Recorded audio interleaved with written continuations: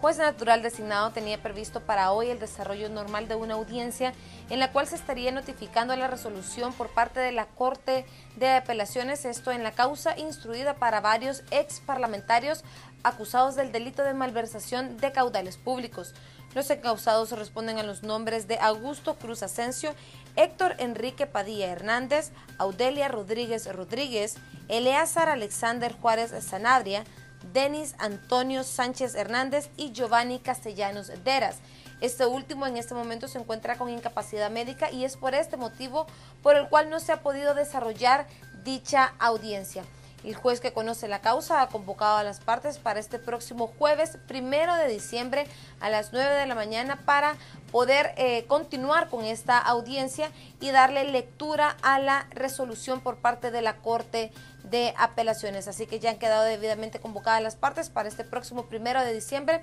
en donde se estará notificando la resolución de la Corte de Apelaciones.